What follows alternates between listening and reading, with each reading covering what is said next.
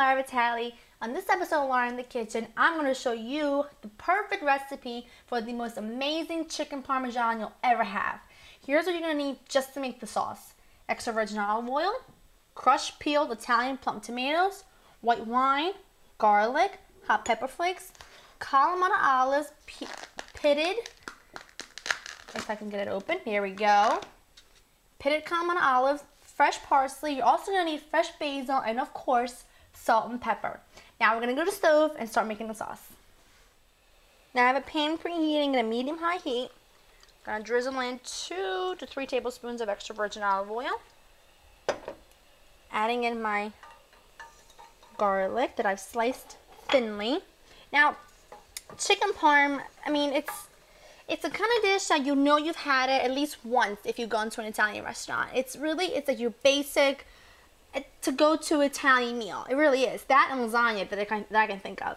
But to me, believe it or not, it wasn't something I grew up eating when I was in Italy. So it wasn't, I wasn't sure how to get it, you know, adapt to it because it wasn't my favorite. It's really bland, it's just sauce and cheese. So the way I make it is with just like lots of flavor in the sauce, a couple different cheeses to just really bring up the flavor of the Parmesan. It's all around amazing.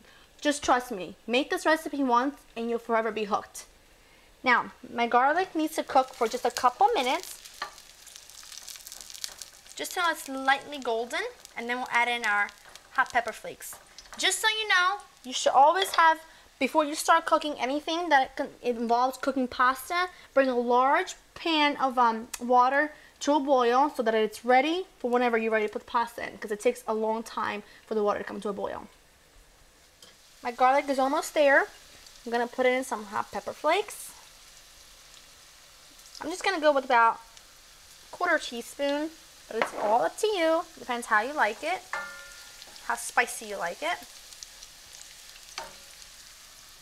Smells so good. Okay. Now I'm going to put in the white wine. Ah, what the heck. Now you want the wine to reduce. You want all the alcohol to cook out. So it's going to take about three to four minutes. You want it to reduce by half. And then we'll add in the tomatoes. My wine's reduced, so now I'm going to add my crushed peeled Italian tomatoes. Mm. Be careful because nothing splashes, splatters like tomatoes. I'm going to add two cans because I like a lot of sauce on my spaghetti and my chicken parm. So and you can always store this in the fridge for a few days. Put on some chicken breast, toss it with some pasta a few days later. You're good to go. Season it with salt and pepper grab it. And yes, I always start with the pepper first, and I don't know why. Here we go. Some salt. Nice, just stir this for a second. Lid on, medium heat, 20 minutes. Keep an eye on it, but it'll take about 20 minutes and then you can continue the process. While the sauce is finishing cooking and the water is coming up to a boil for the pasta, here are the remaining ingredients you're going to need for the rest of the dish. Chicken breast, obviously, pounded thin, just like that. All-purpose flour, eggs, breadcrumbs, granulated garlic, provolone cheese, parmesan cheese, mozzarella, pepper, of course salt, parsley, basil. You're to need a splash of milk, and of course you need spaghetti. Now, first thing we're to do, before we touch the chicken, because remember, if you touch the chicken, you're to have to go right and wash your hands. So get everything prepped before you do that. We're going to put in a splash of milk in with the eggs. Just like that. Beat them up just a little. Not too much. Perfect. Now I'm going to season my breadcrumbs. This is my little secret that I put in the breadcrumbs. I put in granulated garlic just adds more flavor. Like that. Beautiful. And we're going to salt and pepper the breadcrumbs, the eggs, and the flour. Remember, you want to make sure you season every element of your dish so you get a nice rounded flavor so that every single layer is flavored. The breadcrumb, the chicken, everything. So, just gonna mix this around just a tad. I'm gonna put in a little more garlic in the breadcrumbs. I love it. It's fabulous. But believe it or not, it's, subtle. It's not very strong. So, here we go. Mixing this around. Now I'm using these pounded out chicken breasts like that. I buy them from the store like this, but if you can't find them, you can always buy about five ounce chicken breasts and pound them yourself. But every grocery store carries them, so shouldn't be too difficult. Perfect. Four slices. Amazing. Last one. Then we do eggs and the seasoned breadcrumbs. You want to make sure everything is nice, nicely coated.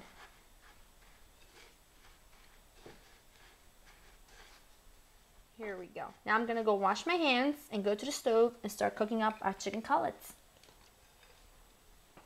Now I have a large non-stick uh, pan preheating with about 3 tablespoons of olive oil. You want it nice and hot. That's exactly what you want to hear.